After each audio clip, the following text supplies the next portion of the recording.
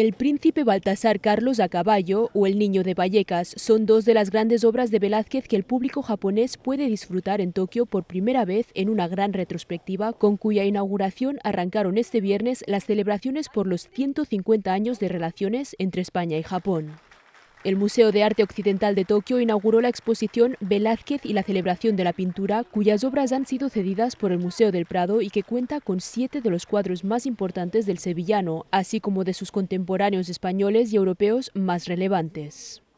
Representantes del mundo de la política y la cultura de España y Japón acudieron a la inauguración en Tokio, entre ellos el director del Museo del Prado, Miguel Falomir Faust, la princesa japonesa Taka Amado y el secretario de Estado de Cooperación Internacional y para Iberoamérica, Fernando García Casas, quien señaló a Japón como el socio preferente de España en Asia. Es el, el acto, el evento principal de la celebración de los 150 años de relaciones diplomáticas España-Japón. Va a haber 44 actos en 14 ciudades japonesas pero claramente este es el principal, con 70 cuadros que se han traído del Museo del Prado y que, por lo se puede ver, están generando un enorme interés en el público japonés.